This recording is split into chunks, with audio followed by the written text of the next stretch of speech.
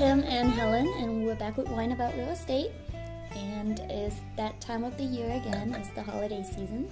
And uh, every single year we do the letter from Santa, and this year is no different. We're going to start that again. Yes, it's a lot of work on our side, but it's uh, it's a great little thing.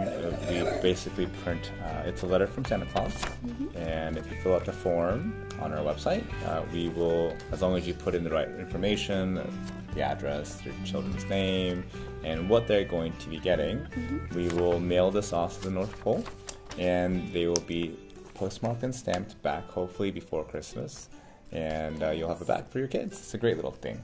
Yeah, so go to pointhonors.com forward slash Santa and submit your form by December 8th of this Yeah. year so that we can have the letter drafted, customized to you. And it doesn't have to be your kids, it could be, you know, your friend, your spouse, your pet. yeah, we've we've gotten different requests over the years, Yes. but uh, it, it is uh, it's a nice thing that we do for all of our clients as long as you can get it to us in time, um, and we'll make sure that it's postmarked. It's really cool because you get it, it's postmarked. It literally says from the North Pole.